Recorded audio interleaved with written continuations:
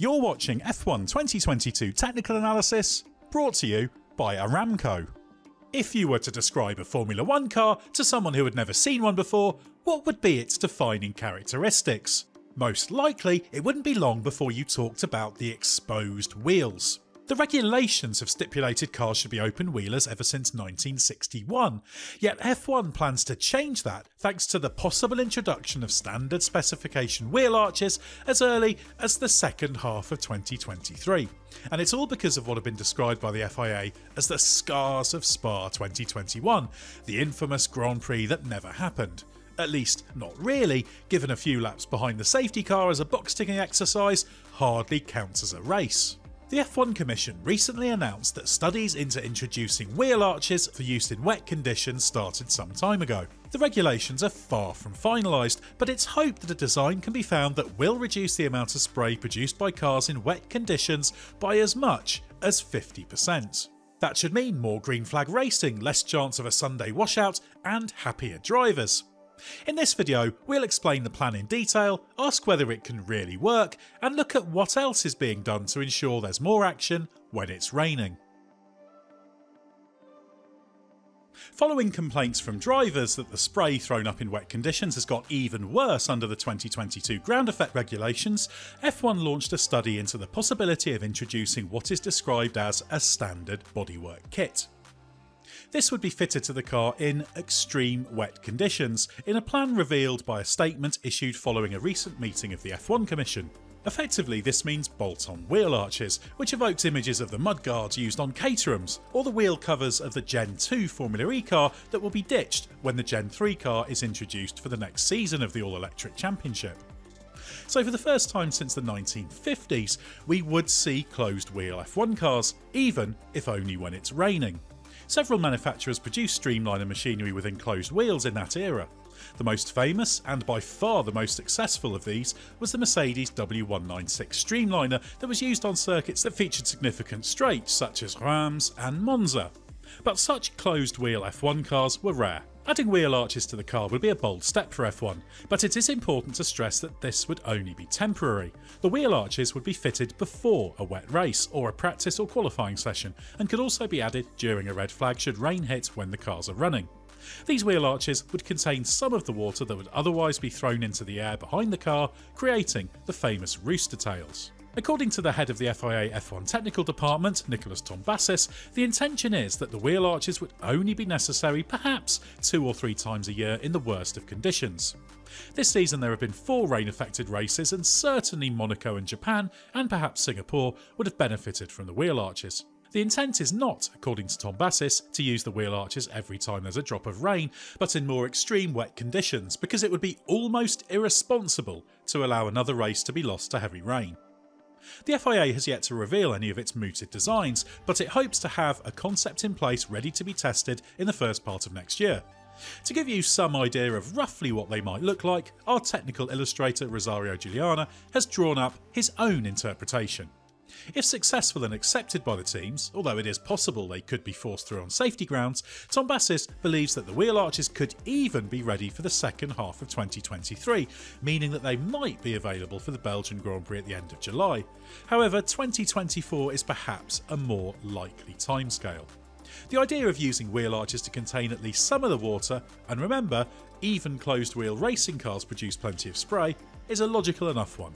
The question is whether the FIA and F1 can hit upon a design that works in the real world. Progress is a race that has no end.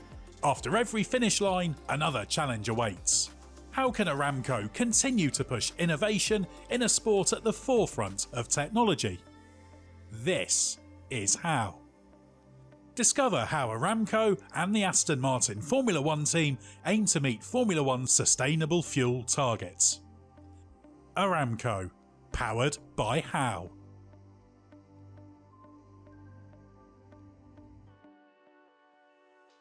The FIA has already come up with some promising directions thanks to the ongoing study into reducing the spray. Tombazis believes it is possible to reduce this by as much as 50%. This is based on work done in CFD that has trialled various geometries of wheel arches along with simulation of the rain droplets to evaluate the impact on the spray. However, although confidence is high for a big improvement, one thing that isn't yet fully understood is how much of the spray is produced by the rotating wheels and how much is flung behind the car by the diffuser.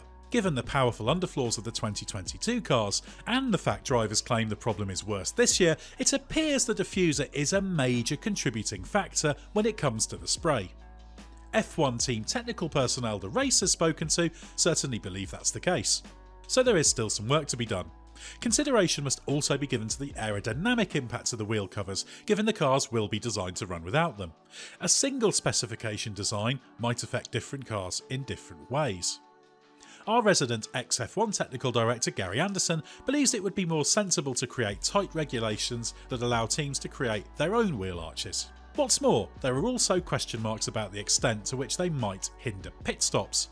This is an area the F1 Commission has stated is being evaluated, along with other considerations such as the possibility of placing additional rain lights on the cars to make them easier to spot. But while the FIA is confident the idea will work, there are legitimate question marks about whether containing more of the spray could reduce the effectiveness of cars at clearing the water from the track. This might increase the risk of aquaplaning, which is already high in these cars, as Carlos Sainz learned when he crashed on the opening lap of the Japanese Grand Prix in the wet at Suzuka.